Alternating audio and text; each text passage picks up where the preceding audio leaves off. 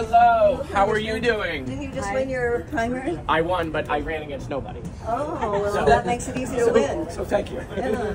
So we hear that um, that the Democrats are working tirelessly for a ceasefire.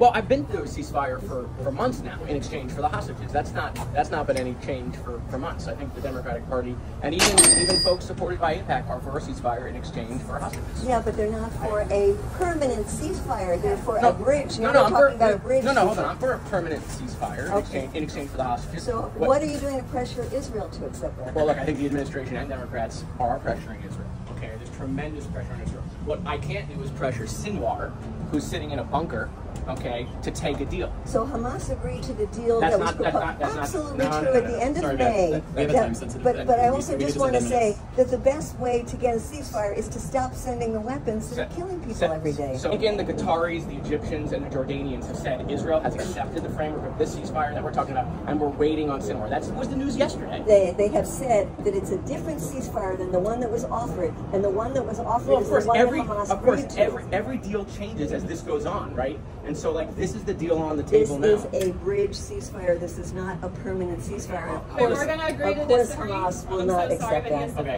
I, I know what Netanyahu has done, which is he's Okay. prolonging this war for his own personal Okay. interests. So talk about personal Listen, interests. I'm not Let's def- I'm not defending Netanyahu, But you- are happy to but you defend stood up and applauded no, him no, 28 I'm- times I, when he came I, to I defend a country, just like when Trump was president Why of this country. why you I didn't hate standing America. ovation to Netanyahu? When- Thank you. We appreciate there, it. there are things he said I agree with, so I stood and clapped for that. There are things that I don't agree with. I think he's a war criminal like Okay. the International Thank you. Criminal Court. Thank you. Thank you. enough. Have